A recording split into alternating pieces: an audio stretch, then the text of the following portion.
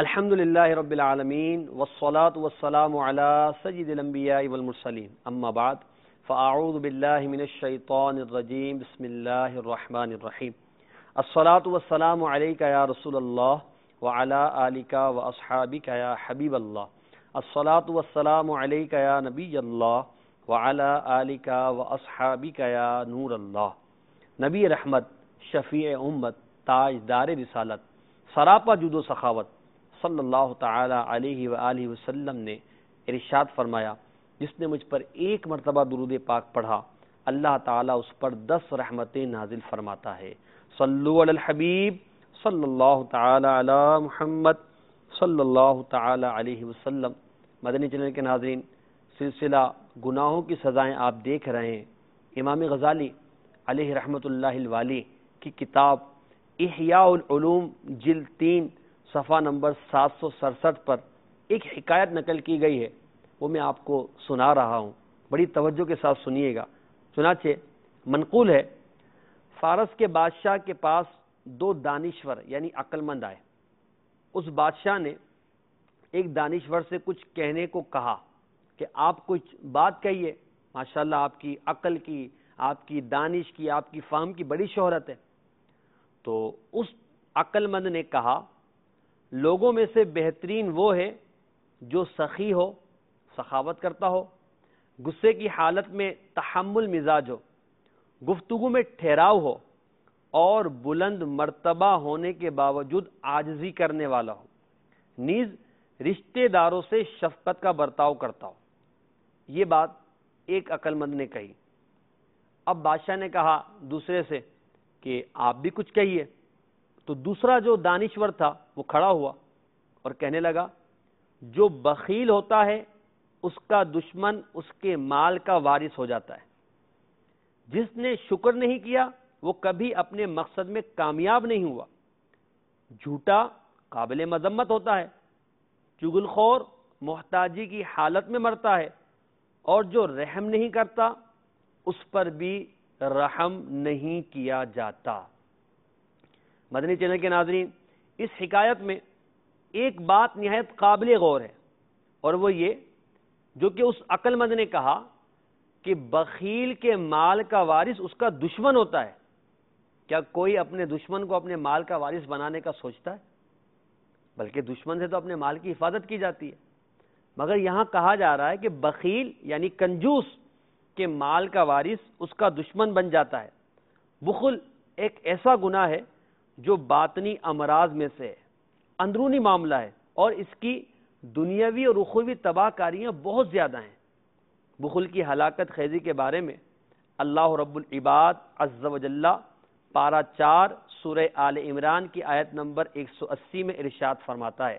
اور جو بخل کرتے ہیں اس چیز میں جو اللہ نے انہیں اپنے فضل سے دی، ہرگز اسے اپنے لیے اچھا نہ سمجھیں۔ بلکہ وہ ان کے لیے برا ہے۔ عن قریب وہ جس میں بخل کرتے تھے قیامت کے دن، ان کے گلے کا توق ہوگا۔ اس آیت مبارکہ کا ترجمہ آپ نے سنا۔ تفسیر سماعت کیجیے۔ مفسر شہیر حکیم الامت مفتی احمد یار خان علیہ رحمت اللہ الحنان فرماتے ہیں یعنی حقوق کا ادا نہ کرنا بخل ہے۔ خواہ انسانوں کا حق ادا نہ کرے یا شریعت کا۔ یا اللہ تعالی کا حق ادا نہ کرے، لہذا زکوٰۃ نہ دینے والا، اپنے حاجت مند رشتہ داروں پر خرچ نہ کرنے والا کنجوس و بخیل ہے۔ اور آیت کے اس حصے کہ ان کے گلے میں توک بنا کر ڈالا جائے گا۔ کے تحت مفتی صاحب فرماتے ہیں، جیسا کہ حدیث پاک میں ہے، جس مال کی زکوٰۃ نہ دی جائے، وہ مال سانپ بن کر قیامت میں مالک کے گلے میں پڑے گا۔ اور یہ کہہ کر اس کو ڈستا ہوگا، میں ہوں تیرا مال، میں ہوں تیرا خزانہ۔ اس طرح اسے عذاب میں مبتلا کیا جائے گا۔ آج ہمارے سلسلے کا موضوع ہے بخل کی سزا، بخل کے نقصانات، بخل کے عذابات۔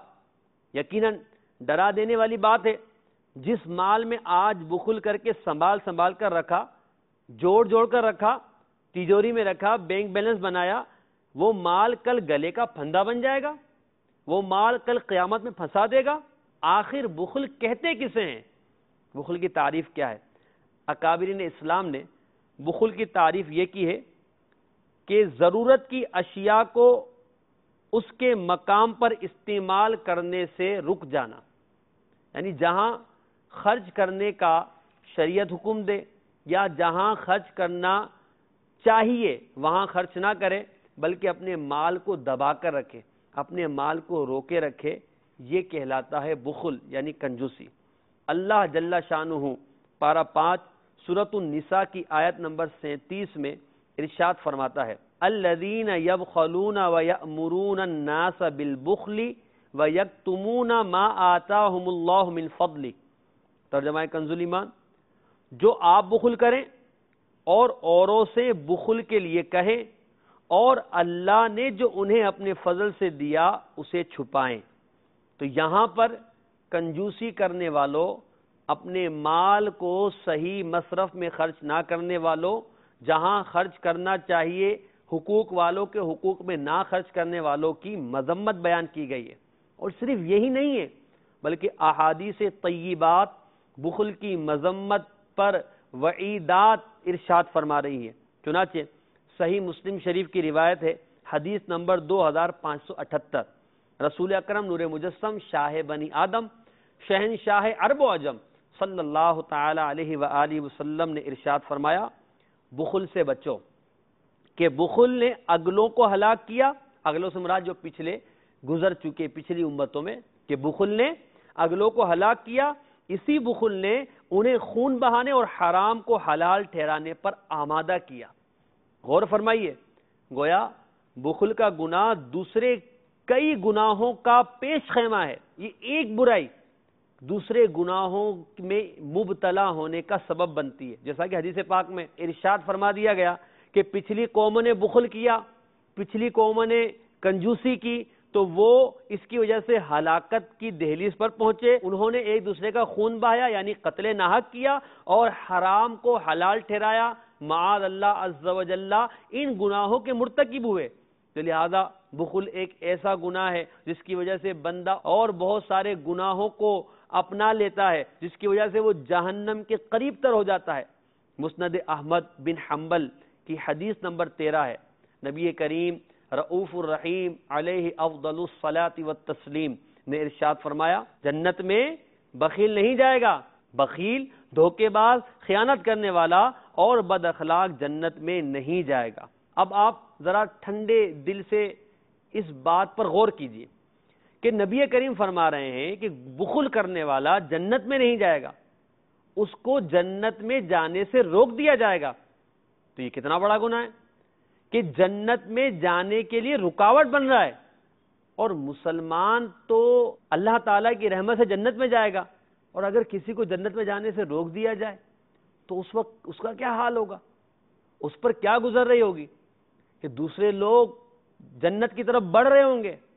حدیث پاک میں ہے نا کہ جنت کے دروازوں پر اتنا رش ہوگا کہ لوگوں کے کندھے ایک دوسرے سے رگڑ کھا رہے ہوں گے۔ مگر جس کو اس وقت بھی جنت میں جانے سے روک دیا جائے، اعلان کر دیا جائے کہ بخیل جو ہے، اے فلاں تو بخیل ہے، اے فلاں تو نے کنجوسی کی تھی، اے فلاں تو خیانت کرنے والا تھا، تو بد اخلاق تھا تو جا جنت میں داخل ہونے کی اجازت نہیں ہے۔ کیا کریں گے؟ ایک اور حدیث پاک، عبرت ناک سنیے۔ شعب الایمان کی حدیث نمبر سات سو پینتالیس ہے، جو عالم کے داتا عربی آقا صلی اللہ تعالی علیہ وسلم نے فرمایا، اللہ تعالی تین قسم کے لوگوں کو ناپسند کرتا ہے۔ ایک بوڑھا زانی، دوسرا متکبر فقیر، اور تیسرا احسان جتانے والا کنجوس۔ رسول اللہ صلی اللہ تعالی علیہ وسلم نے فرمایا، ظلم سے بچو، کیونکہ ظلم قیامت کے دن اندھیریاں ہوگا یعنی اندھیرے کا سبب ہوگا۔ اور فوہش کلامی سے بچو، کیونکہ اللہ تعالیٰ بے حیائی کے کام اور بے شرمی کی باتیں کرنے والے کو پسند نہیں کرتا۔ اور بخل سے بچو، کہ بخل نے پچھلوں کو ہلاک کیا، اسی بخل نے انہیں جھوٹ پر ابھارا، تو انہوں نے جھوٹ بولا ظلم پر ابھارا تو انہوں نے ظلم کیا، قطع رحمی پر ابھارا تو انہوں نے قطع رحمی کی۔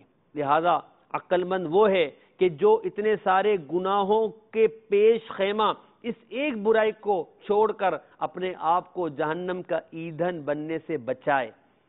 کنز العمال کی حدیث ہے، حضرت عبداللہ ابن عباس رضی اللہ تعالی عنہما سے روایت ہے۔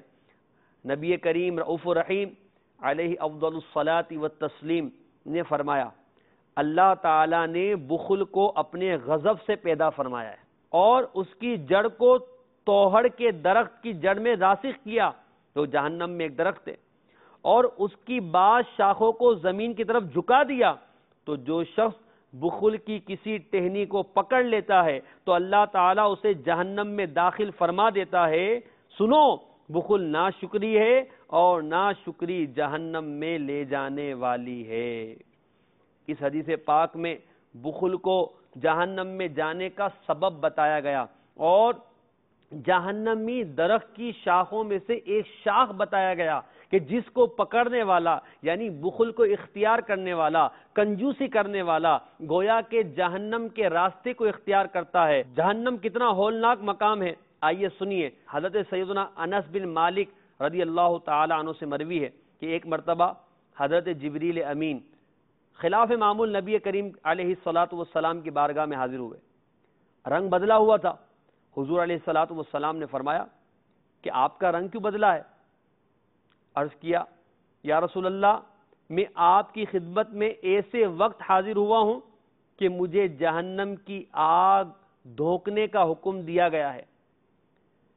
اور ایسے شخص کے لیے مناسب نہیں جو جانتا ہے کہ جہنم جہنم کی آگ عذاب قبر برحق ہیں اور عذاب الہی بڑا سخت ہے۔ پھر جہنم سے محفوظ ہونے سے پہلے اس کی آنکھیں ٹھنڈی ہوں۔ تو حضور اکرم علیہ السلام نے فرمایا جبریل، مجھے جہنم کا حال سناؤ۔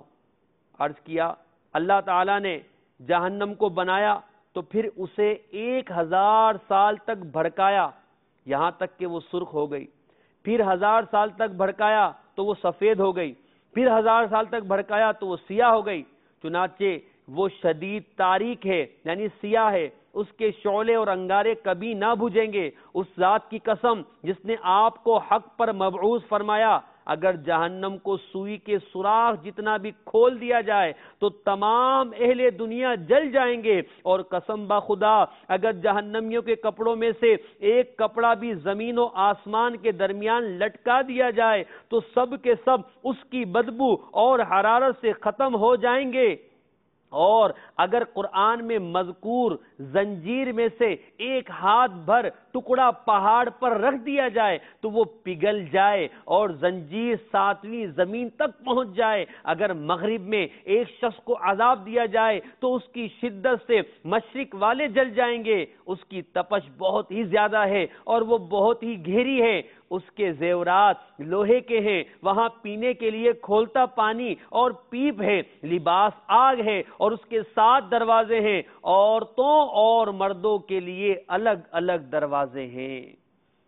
عبرت ہی عبرت ہے۔ ڈر جانے کا مقام ہے کہ جہنم اتنا خوفناک مقام ہے جو اللہ تعالیٰ نے گناہ گاروں کے لیے تیار کیا ہے، جہاں پر عذابات کا سلسلہ ہوگا۔ اور بخیل کے لیے یہ کہا گیا کہ بخیل کو جہنم میں داخل کیا جائے گا، تو لہذا ڈر جانا چاہیے، بخل سے توبہ کرنی چاہیے، رب کی بارگاہ میں رجوع کرنا چاہیے، اور سخاوت کو اپنانا چاہیے۔ مزید سنیے، نبی کریم صلی اللہ علیہ وسلم نے فرمایا کہ اللہ تعالیٰ اس شخص کو ناپسند فرماتا ہے جو زندگی بھر بخل کرے اور مرتے وقت سخاوت کرے۔ حضور اکرم نبی مکرم صلی اللہ علیہ وسلم نے فرمایا، تم کہتے ہو، لالچی کا عذر ظالم سے زیادہ قابل قبول ہے، لیکن اللہ کے نزدیک لالچ سے بڑھ کر بھی کوئی ظلم ہے۔ اللہ تعالیٰ نے فرمایا، مجھے اپنی عزت عظمت اور جلال کی قسم، لالچی اور بخیل یعنی کنجوس جنت میں داخل نہ ہوں گے۔ اللہ تعالیٰ فرماتا ہے، پارہ چھبیس سورہ محمد کی آیت نمبر اڑتیس، وَمَنْ يَبْخَلْ فَإِنَّمَا يَبْخَلُ عَنْ نَفْسِهِ۔ اور جو بخل کرے وہ اپنی جان پر بخل کرتا ہے۔ حضرت امام شعبی رحمت اللہ تعالی علیہ فرماتے ہیں، میں نہیں جانتا کہ بخل اور جھوٹ میں سے کون سا عمل جہنم میں زیادہ گہرائی میں لے جانے والا ہے۔ یعنی اتنے بڑے امام یہ کہہ رہے ہیں کہ کون سا عمل جہنم میں زیادہ گہرائی میں لے جانے والا ہے دونوں برے اور ہے دونوں جہنم میں جانے کا سبب۔ مگر مجھے نہیں معلوم کہ بخل زیادہ جہنم میں لے جانے والا ہے یا جھوٹ۔ نیز بخیلوں کے لیے مقام عبرت ہے۔ حضرت سیدنا عبداللہ ابن عباس رضی اللہ تعالی عنہما فرماتے ہیں، جب اللہ تعالی نے جنت عدن کو بنایا تو اس سے فرمایا، آراستہ ہو جا سمر جا۔ وہ آراستہ ہو گئی۔ پھر اس سے فرمایا، اپنی نہروں کو ظاہر کر۔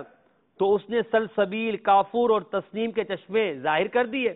تو ان سے جنتوں میں شراب تہور شہد اور دودھ کی نہریں جاری ہو گئیں۔ پھر فرمایا، اے جنت اپنے تخت اور پازیب کرسی، زیور، لباس اور حور عین ظاہر کر۔ تو اس نے ظاہر کر دیے۔ پھر اللہ تبارک و تعالی نے اس جنت عدن کی طرف نظر فرمائی اور فرمایا کہ، اے جنت، تو کلام کر، تو بول۔ تو اس نے کہا، خوشخبری ہے اس شخص کے لیے جو مجھ میں داخل ہوگا۔ اللہ تعالیٰ نے ارشاد فرمایا، مجھے اپنی عزت کی قسم میں کسی کنجوس کو تجھ میں داخل نہ کروں گا۔ مقام عبرت ہے۔ مقام عبرت ہے۔ حدیث پاک میں ہے۔ جاہل سخی اللہ کو عبادت گزار کنجوس سے زیادہ پسندیدہ ہے۔ بخل اخلاق رضیلہ میں سے ہے۔ جس کا مومن کے دل میں کیا کام؟ چنانچہ رسول اکرم صلی اللہ علیہ وسلم نے فرمایا، دو خصلتیں ایسی ہیں جو مومن میں جمع نہیں ہوتی، ایک بخل اور دوسرا بد اخلاقی۔ اسی طرح ایک اور روایت میں ہے کہ بخل کی زیادتی اور بزدلی کی شدت مرد کے برے اخلاق میں سے ہیں۔ مدنی چینل کے ناظرین، بخل کی اتنی ہلاکت خیزیاں ہم نے آج اس سلسلے میں سماعت کی۔ تو لہذا عقل مند وہ ہے کہ آج ہی بخل کی اس صفت رضیلہ کو اپنے دل سے نکالے اور بخل کے عذابات سے بچنے کے لیے سعی کرے۔ یقیناً اچھا ماحول انسان کو بری صفات سے بچاتا ہے۔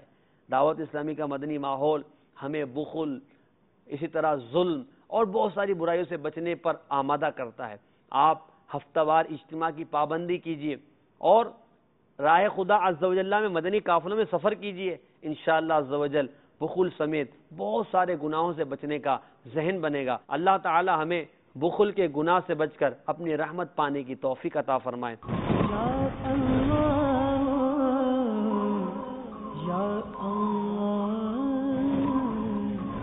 人。